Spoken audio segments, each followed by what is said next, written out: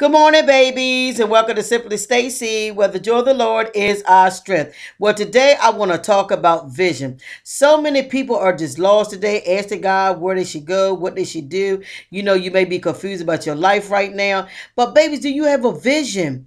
Do you know where you want to go? Do you know the next step you want to take? Do you have a vision for your life? How do you see your life? How do you see yourself in the next year, the next six months? You know, in business they always ask you, you know, where you see yourself five years from now, where you see yourself 10 years from now. But a lot of people don't make a vision for their own personal lives. And that's why you are perishing. Babies, the word says, when you don't have a vision, the people perish. Babies, you need to have a vision. This is why you're perishing. You know, God will let you know what He wants done in your life. You need to seek God.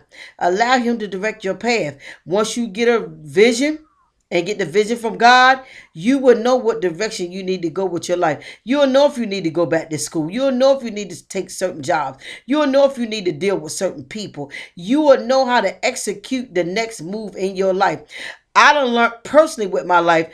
Now that I know what God wants me to do and I understand my assignment in this earth, that I know certain things that I need to do. Stuff is bombarded us all the time.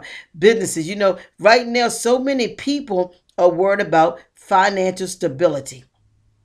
There's all different kind of get rich quick schemes, and it always have been.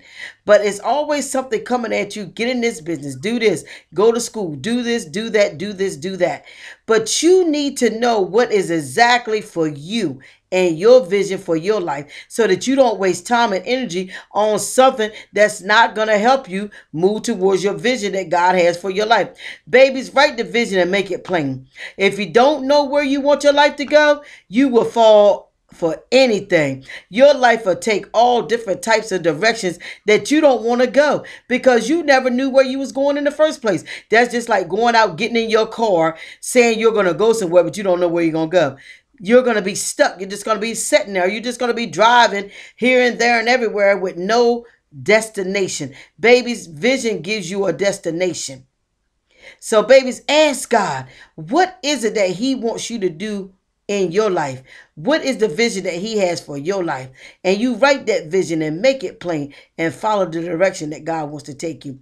Babies, without a vision, the people perish. You don't want to be one of those people that perish. You want to have a vision. You want to be to execute it out and you want to be to write it and make it plain.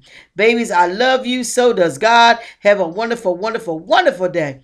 Mwah. Smooches, babies, and write that vision and make it plain.